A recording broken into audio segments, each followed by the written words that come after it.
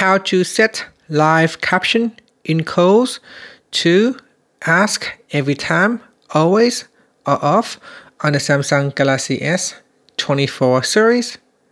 First tap on the home button to go back to the home screen. Then on the home screen, swipe down at the top and then tap on the settings icon.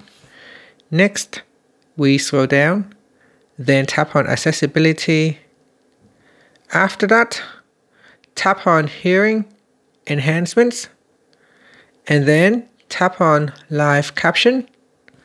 In here, scroll down and then tap on caption calls in the live caption in calls section.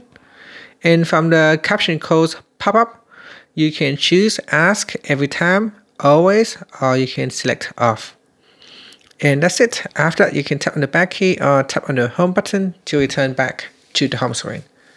Thank you for watching this video. Please like and subscribe to my channel for more videos.